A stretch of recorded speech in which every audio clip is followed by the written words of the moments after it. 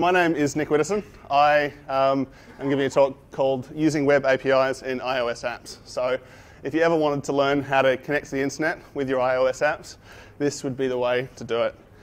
Um, first bit's a little bit about me. Um, that's me, if you haven't noticed. I like to wear hats. I do a lot of things. Um, a little story about that photo. That, that there, oh, I'm from, I'm from uh, Hobart, by the way.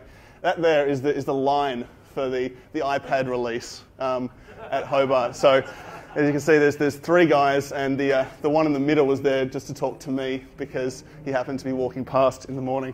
Um, so we've got a lot of people down there.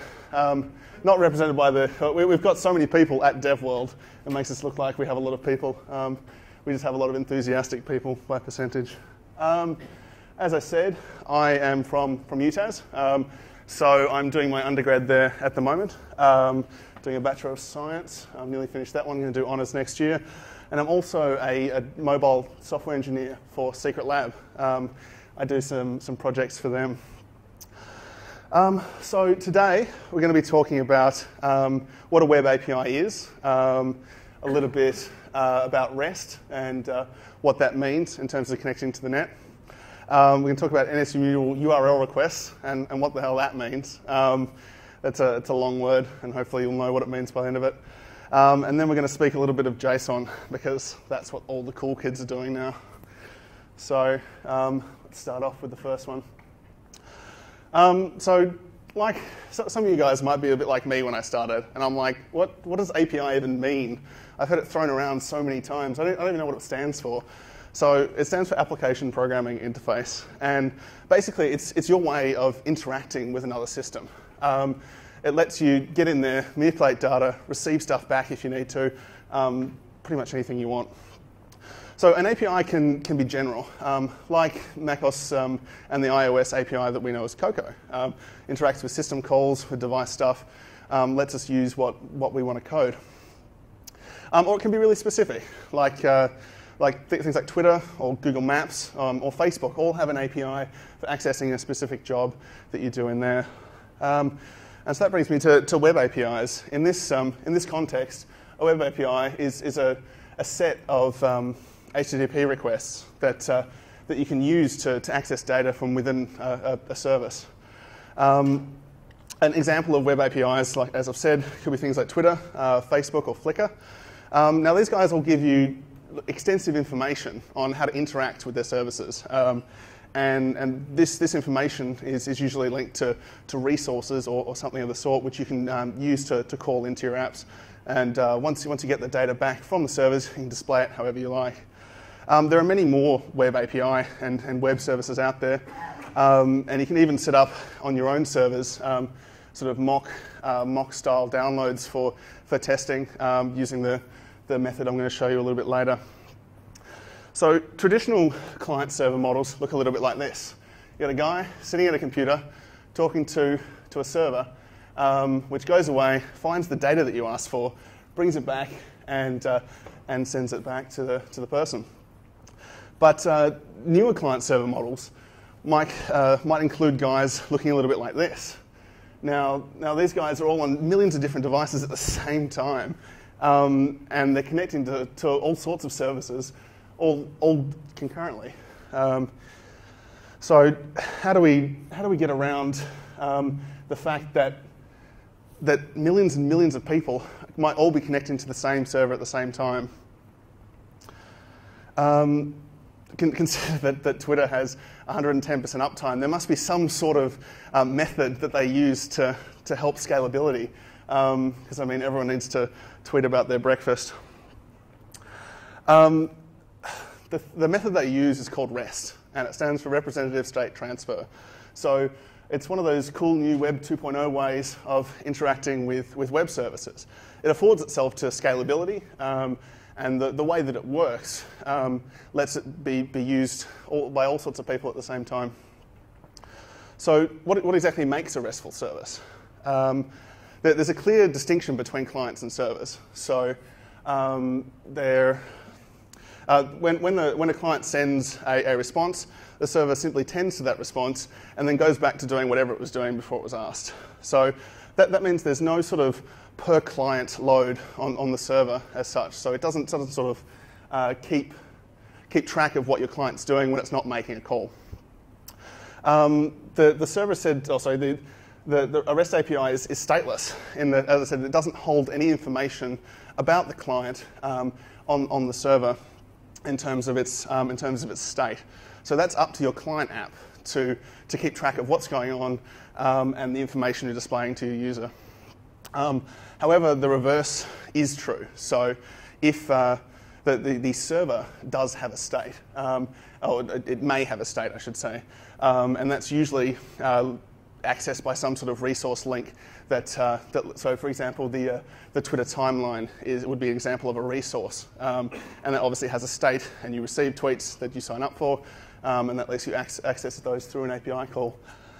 Um, a, a, RESTful service is cacheable, so um, it, it allows you to uh, have some sort of idea of when your data is old and when you should uh, refresh that to your user.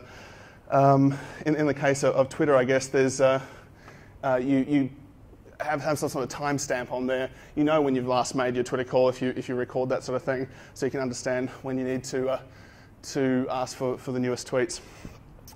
Um, and, and, finally, there's a, a, uniform interface between the client and the server.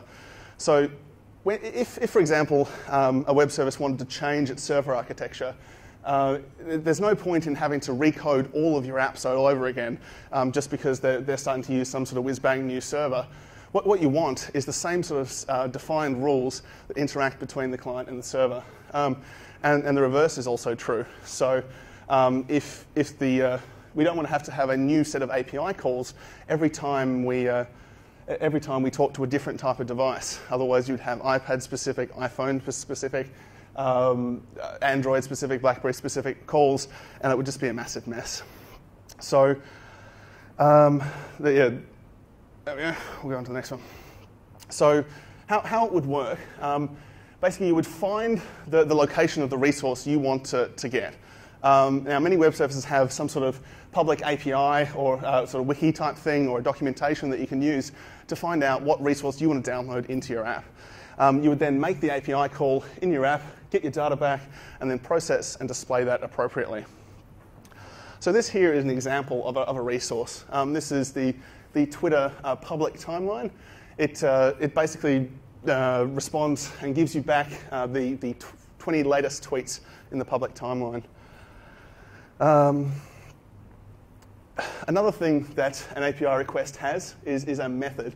Now, like uh, it, it, uses the HTTP methods, so you've got get, post, put, and delete, and the other one I always forget. Um, and uh, the, the, two most important ones are, are get and post. Um, most of your data manipulation can be done by post, so things like deleting. Twitter uses post. Um, to, you simply send it the, uh, the uh, status of the ID you want to tweet, along with the, uh, sorry, the, the, status of the ID you want to delete, um, along with the appropriate uh, structured call, and I'll go and delete that one for you. Um, and the last thing an API uh, request is made up of is uh, key value pairs. Now, the body of the request is where you would store those uh, extra parameters you need to, to send in your API call. Um, so for the for example like Twitter, there, if you needed to send a user ID, you could you could add it like that. Um, they're, they're, separated by ampersands, um, and as long as they they follow that sort of structure, um, you'll be able to get everything off okay. So just to recap, the structure of your API call is you have you have a request. Um, you, you, put a URL. Uh, a URL is associated with that particular request. Um, it has a type of a type of method, um, whether it be get, post, or what have you um, and a, a, request body. Now, that body um, will have all the parameters, as I've said. Um, this here is an example of what we would use as I've gone through the, uh, the public timeline uh, Twitter API call. Now, it's got a couple of extra body things in there, and they're, they're not really that important to, to what I'm doing, but that gives you a bit of an idea of something that's actually true. Um, so now you know what a web service is. Um, you know the resources you want to get and you know the calls, you need to find them. So how do we get that into our app? Um, and that gets us to uh, talking a little bit about, more about code. So um, how do we use this information to, to make web, web API calls in, in iOS?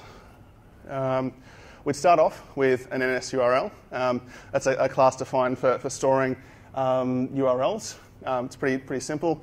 You use URL with string there, give it the, the URL you want, um, and it stores that for you.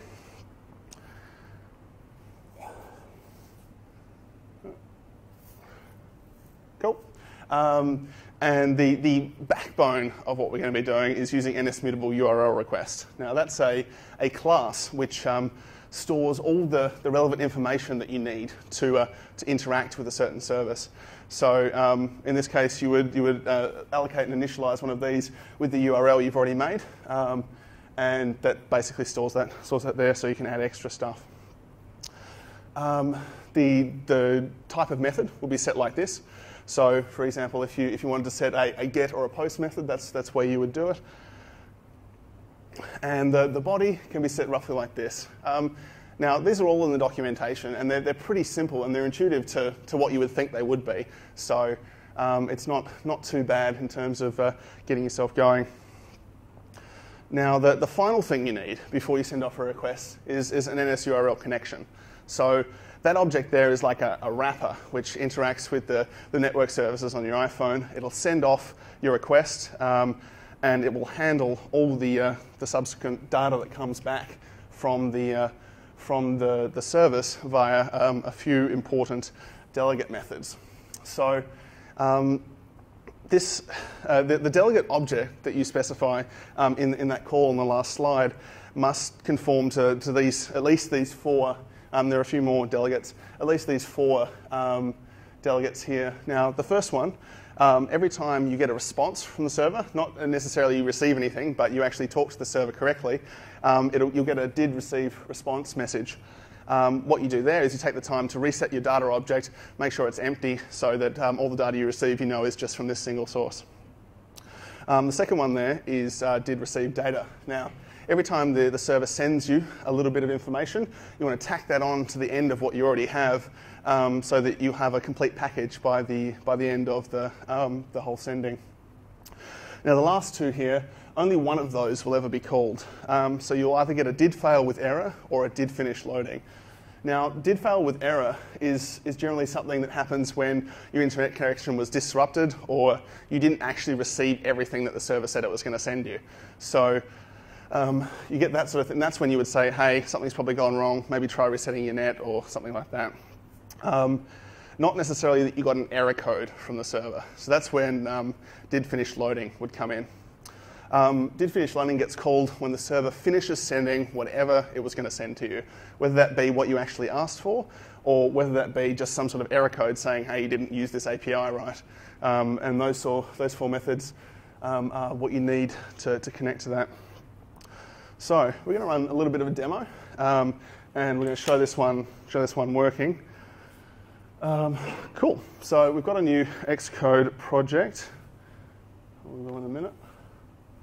We're going to make a, an iPad um, view-based application so you can see what happens when it when it comes out. Uh, one moment.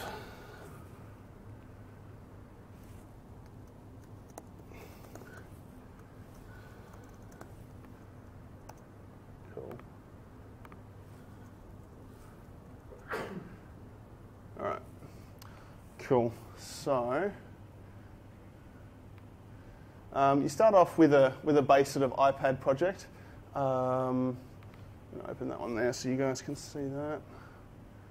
I'm going to work in this window over here. That one? Okay. Cool.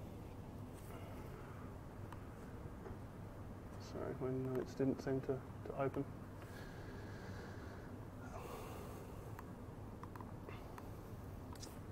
Okay. So we've got our, our base, um, base project here. Um, and the first thing we're going to do is set up our header file. So we're going to add um, some, some data, um, some, uh, a place to, to hold the data that comes in. We're going to add a, instance variable for a request and one for a connection. So we're going to do that in here. Um, and you'll see those are all the all of type, except for mutable data. Um, those were the, the things I was speaking about before.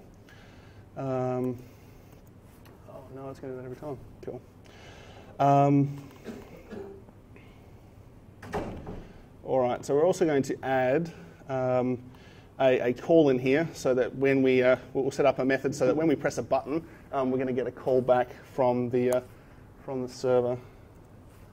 All right, cool. Now, um, we've got a few, few methods we're going to implement. Um, the first one is the, the one to set up our connection code.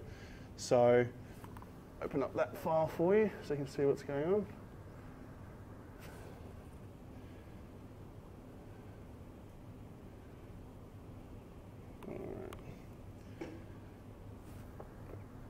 Cool. So this, uh, this code here, I'll run through, through it with you. Um, basically what we're, what we're doing, as, as I've shown in the slides, um, we're setting up a, a, request that we created in the, in the H file, or we, we created a pointer to in the header there. Um, we're allocating, initializing that with the, the URL of the public timeline. Um, and we're setting the, uh, the, the, get method of that um, in, the, in the next line. Now, um, NSURL connection is, is, a, kind of, it works in a kind of a weird way. Um, it's not exactly how you would think it does. So when you, when you actually create an NSURL connection object in the init methods, unless you tell it to otherwise, it's going to go ahead and start the connection straight away. So um, you don't have to tell it to, to go or to, to start now. There's another, another initialization method for that. Um, but we're basically going to pass in the requests of the thing that we want, and we're going to, uh, going to say that we want all the, the delegate methods, all the delegate um, uh, messages to be sent to the current object. Um, now, if everything gets created correctly, um, we're going to, sorry, if everything gets created correctly, um, we're going to set up the received data um, object there. Now, that's the one that's going to store all the stuff that's coming from the server. Um, otherwise, we're probably going to tell the user something went kind of wrong. In this case, it's probably not going to be your, your internet, but that's one that I had had there. Um, that one usually won't get won't get called unless there's something really wrong with something that's going on. So we'll just um, we'll just write something in there. Um, and yeah, so that, that's the, the first way that you would connect to, to a server. Now that basically makes your request and sends it off for you. Um, you're not going to get anything back, but it is set up. So the, uh, the next bit we're going to set up um, is the uh, connection did receive response delegate.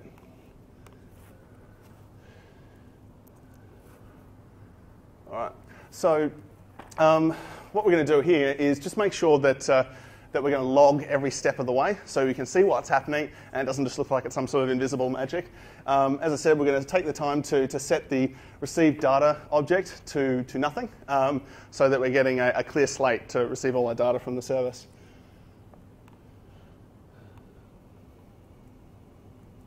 Whoops.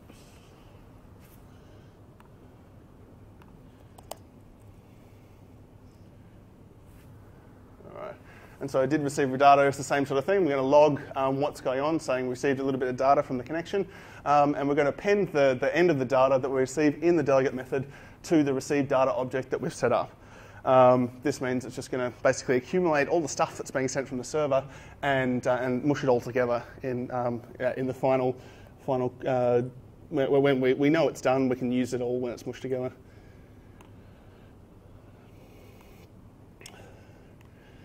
All right, so this one here. Oh. Um, this one here is what happens when, you, when, you, uh, when something gets interrupted with the internet connection or something like that. Um, we're just going to tell the user, hey, you know, something happened, or we're going to log that something happened. Um, we're going to take the time to, to clean up any extra objects we had um, and, and release those back into the uh, iOS chamber of, of memory fun. Um, and the last one I'm going to put in is did finish loading.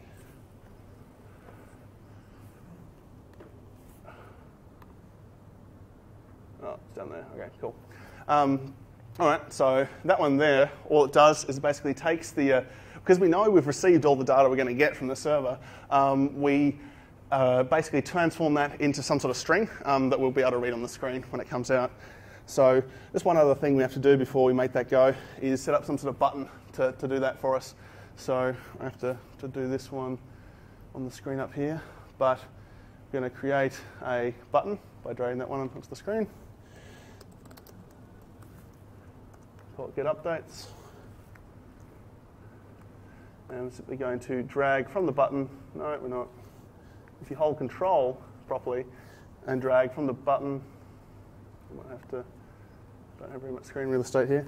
Um, drag from the button to the file's owner. We're going to connect it to the event called Get New Updates, which is the one we created before. And um, everything should be okay now. I'm going to save that, uh, save that nib. And we'll build and go and see what happens. Hopefully I'm still connected to the internet.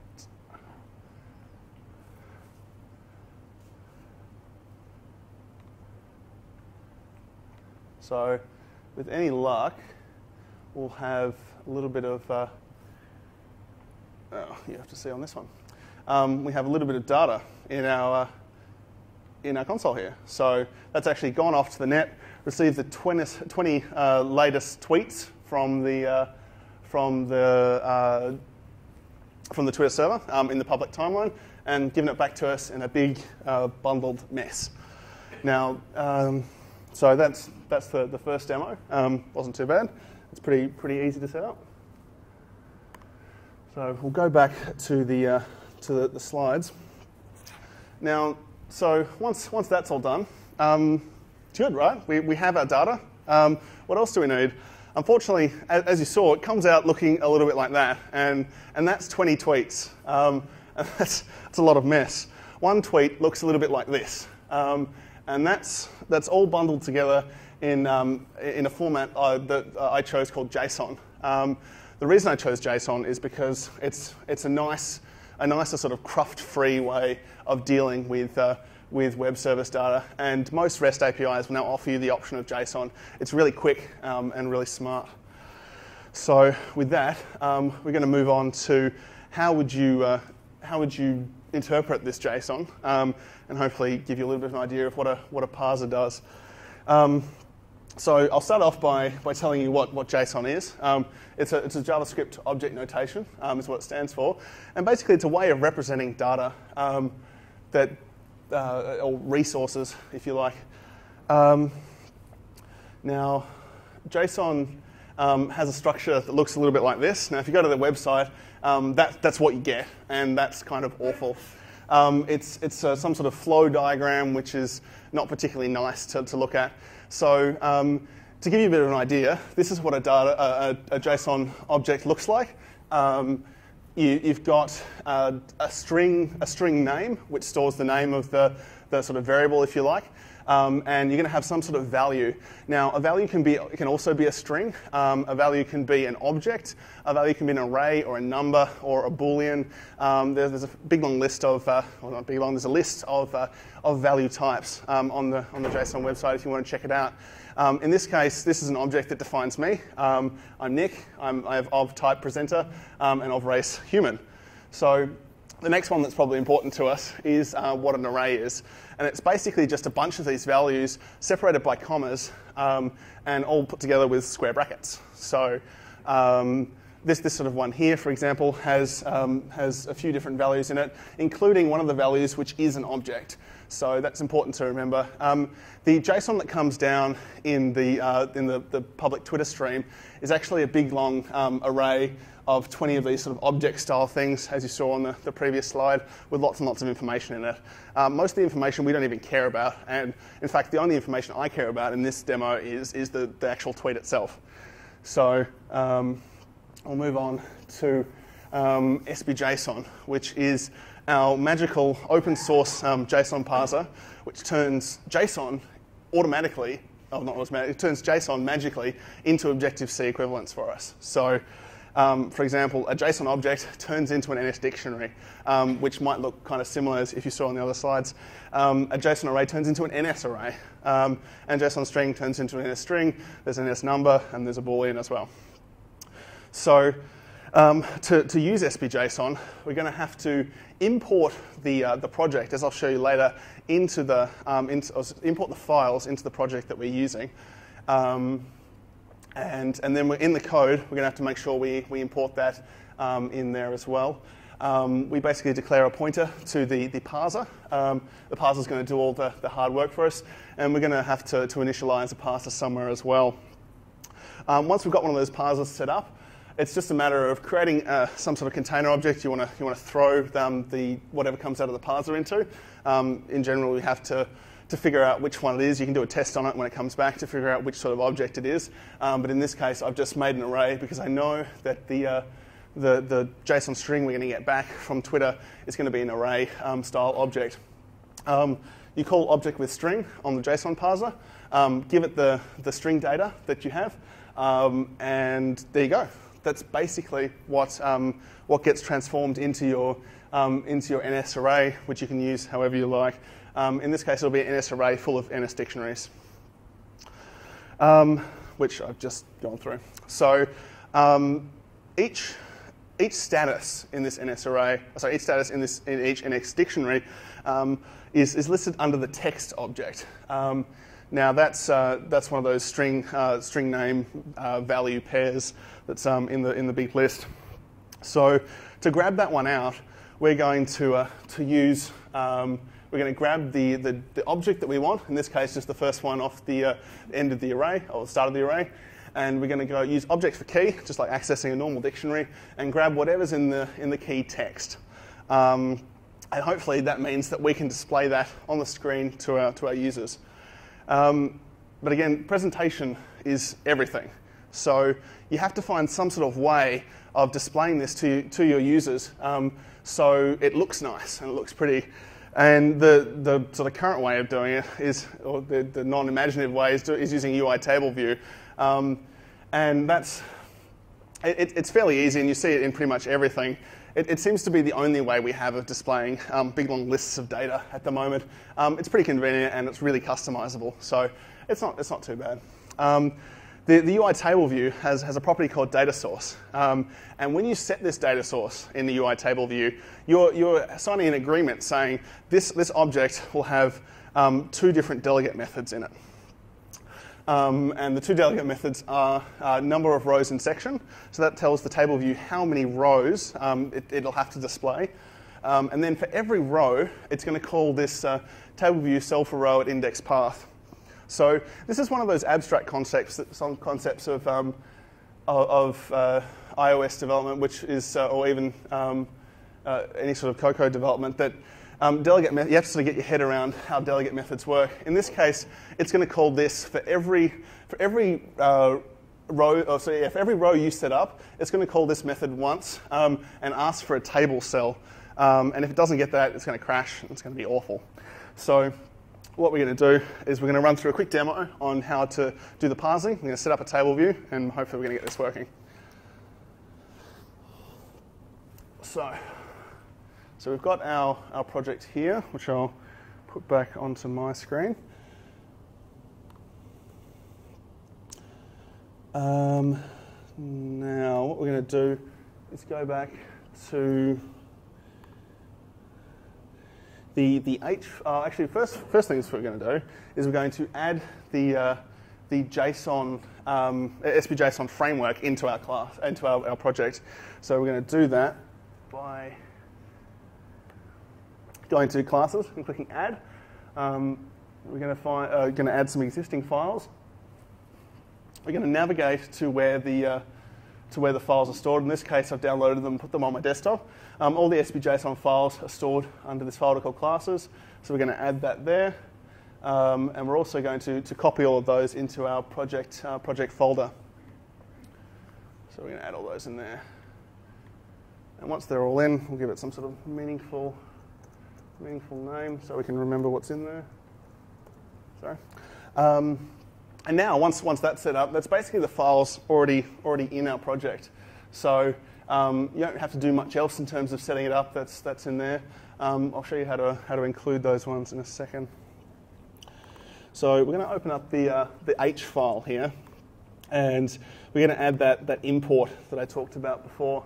Um, so we're going to add, I can do that on my screen. We're going to add that, add that import in, in there. Um, and that's basically going to say say we want to have all these files in our in our program, um, including the, the first header. Um, and we're going to add a few extra things into our into our header file now, just so we've set some stuff up. Um, and that is these ones here, as you can see. So we're going to um, create a pointer to an SBJSON parser. Um, we're going to make an NS array to store all the uh, all the tweets in, uh, all the, the dictionaries in there when we get those. And we're going to make a table view and a UI spinner so that you can tell something's going on when, uh, when you've clicked the button. So we're going to go to the code. Um, now, in the, uh, where are we?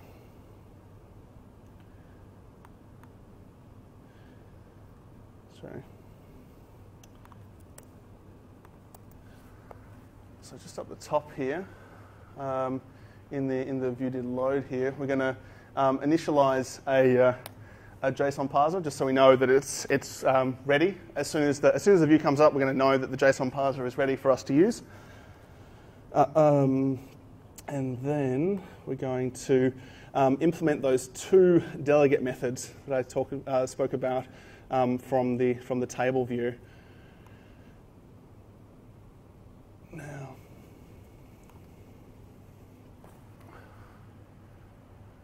The first one is uh, number of rows in section. So what we're going to do is um, if, the, if the public timeline exists, that means probably someone, someone's already pressed the button.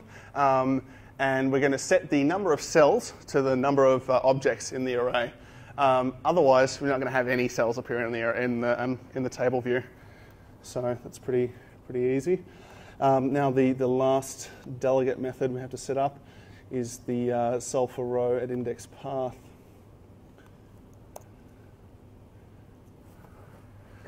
So this one here, it's got a little bit of reusable code from Apple um, for memory managed uh, cells. Now that one there, you can just go ahead and pop in. Um, basically means it'll create a, a cell for you. Um, if there is uh, cells that have been uh, that, that, have gone off screen and sort of been, been DQ'd, um, you can grab one of those and say, hey, instead of, instead of creating a new one, you just reuse one of the old ones which aren't in use anymore.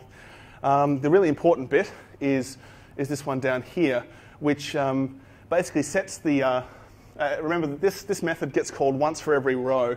So it sets the, uh, the text of the cell um, to the object at index, index path dot row.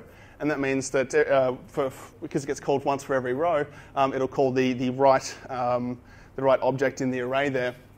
And um, it'll, it'll ask that, that dictionary for whatever's stored in the text, um, text uh, field of that dictionary um, and set that to the, the cell label text.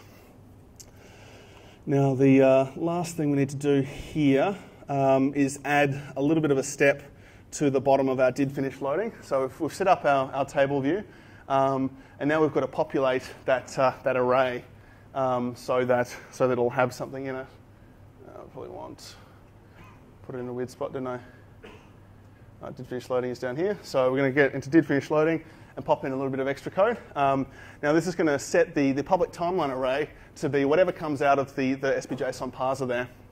Um, it's going to grab that string, turn it into an NS array. Um, it's going to spit out all that sort of stuff in the console as well. Um, and it's going to reload, uh, importantly, it's going to reload the table view. So it's going to send a message to that table view and say, hey, I want you to go and call all your delegate methods again um, because I've got some new data I want you to display. So um, and one other, one other thing I'm going to do is before I commented out um, a line that was uh, calling a spinner. Now, that's our, that's our little um, UI activity view spinner. Um, and that's just going to show what's happening at any one time. If there's uh, some sort of connection pending, um, it's kind of cool to have one of these in there because it'll show you user what's going on. Um, so the last thing I need to do is set up that display with a, uh, with a table view in it because that's probably, probably important. Um, so, so we're going to pop a table view in here. Going to resize that. Cool. Um, all right, so it's quite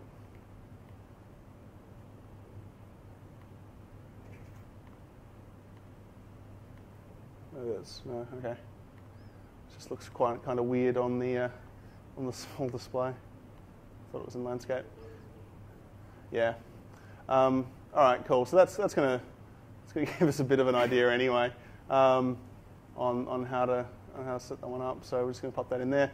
And um, one important thing is we're gonna link it up in code.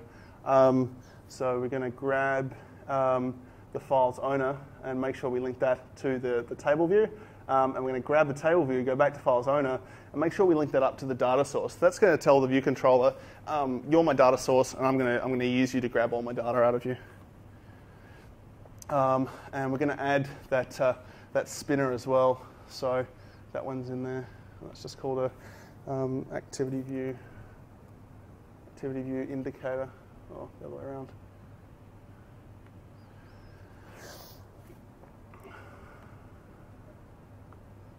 Take that up to, to spinner.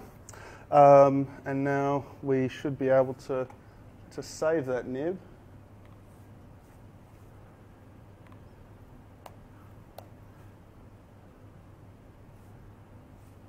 And here we go. Oh, there's one thing I forgot to do. Now, a, um, and a UI activity view spinner actually has a property which lets you set it to invisible when it's not spinning. Um, that's usually a good thing, so it means people don't get confused at what's going on at any one time. So we're going to make sure we've set that one. Let me go build and go. Um, now, just a warning, I'm, I'm not responsible for anything that comes out on here. Um, this, this, is, this is coming from the, from the Twitter stream, and in, in my experience, it's not bad. Um, I wouldn't follow any of the links that it says. Um, so it's going to tell us a little bit of a little bit of something's going on, and hopefully, ah, there we go. So um, it's given us all the uh, Babies are so cute. Um, so it's given us all of the, the tweets from the public, uh, the first 20 tweets from the public timeline um, for us to display, and it's gone ahead and, and, and displayed them all in there for you. So it's that easy. Um, and we'll go back to the back to the last bit of the uh, last bit of the uh, thing. So you you have access to, to tools that do great things. Now, this was a really simple and sort of contrived example because no one wants to see the public timeline because it's useless. Um, but you just, you just need to use these tools to, to give, like, give your vision a little bit of a body. Um, read the documentation. Seriously, read it because it contains everything that you need. Um, if, it's not, if it's not in there, have a look on Google, have a look in the community. There's generally solutions to all the things that, that you want. Um, and if there's some sort of library out there that, that formats stuff the way you want it, don't, as long as it's open source and you're allowed to use it, don't be afraid to use it because if someone else has done the work for you, just, just use their stuff. That's what it's there for. They, they want you to do it. Um, and finally, here's a, here's a list of some important stuff you should probably remember. Um, the first one there's the, the iOS um, developer uh, library. So you go in there, find out all the documentation stuff. That's also in Xcode um, if you've got it there. Um, a little bit of information on, on REST API um, if you need to find anything more about that. Um, you can go to dev.twitter.com to find out all the, the uh, APIs and stuff that I've used in, this, uh, in the talk, and also many others um, to get it to, to do whatever you want. Um, go to json.org to, to find out more about JSON if, if you think I haven't explained it particularly well, or if you need to find out more about it. Um, and the SB-JSON framework is found on the, uh, the last link there. Um, in fact, that's a different link to the one at the start, but they both go roughly to the same place. So um, if you get confused, there's pretty much links everywhere. Um, you, if you want to talk to me, um, you can find me at twitter.com slash. Um, send me a tweet. I'm happy to, to talk to people about projects or, or anything you like. Um, as I said, I'm also part of Secret Lab. So if you want to send me, a, send me an email, um, just, just send one off to there and I'll, I'll respond as best I can.